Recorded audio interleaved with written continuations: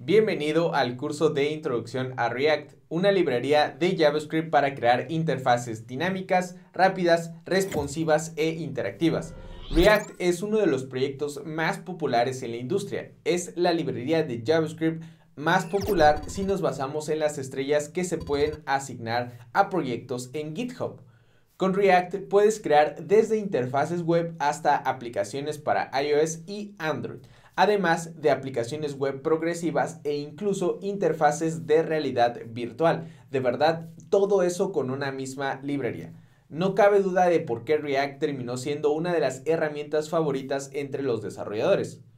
Una de las grandes ventajas de React es que lo puedes adoptar entre tus herramientas de desarrollo de manera progresiva, a diferencia de otros frameworks donde tienes que rehacer el, proyecto casi por completo para poder integrarlos.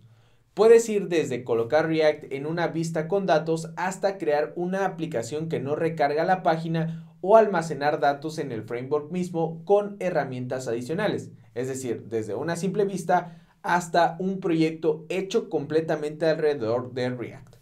Aprovechando esta característica de la librería, vamos a aprenderla de manera progresiva. Primero, creando una landing page con material design y animaciones, para luego pasar a crear una single page app usando el router y por último usar Redux para almacenar datos que consumimos de un servicio web que por cierto también desarrollamos en otro curso aquí en Código Facilito.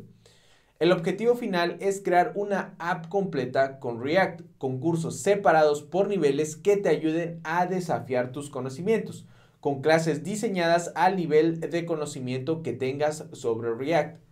En este primer curso vamos a aprender las bases de la librería. Crearemos nuestros primeros componentes, aprenderemos cómo funciona la librería, por qué goza de tan buen rendimiento, los conceptos claves a entender, la integración con Material Design y el uso y definición de animaciones para nuestros componentes.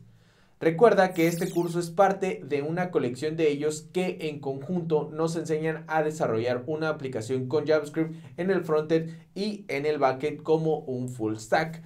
Te espero entonces en este curso para que em-, empecemos a aprender esta librería. Te recomiendo que sigas este y todos los que conforman esta colección.